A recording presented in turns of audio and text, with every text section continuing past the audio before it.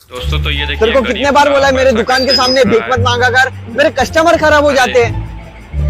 भाई Thums up देना। ओहो, अब समझ में आया। अरे तेरे को कितने बार बोला यहाँ पे भीख मत मांग। चल आगे जा। बना दिया है ये कोई तरीका है कि गरीब से बात करने का? मेरे पैसा वापस देने को।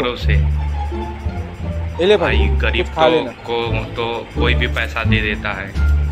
भाई एक रेड बुल देना। देखिए दुकानदार और गरीब कैसे मिला हुआ है? दिखा अरे तेरे को कितने बार बोला यहाँ पे भीख मत मांगा कर मेरे कस्टमर को परेशान क्यों कर रहा है? तेरे को समझ रहा नहीं है क्या? ए भाई इतना क्यों चिल्ला रहे गरीब को?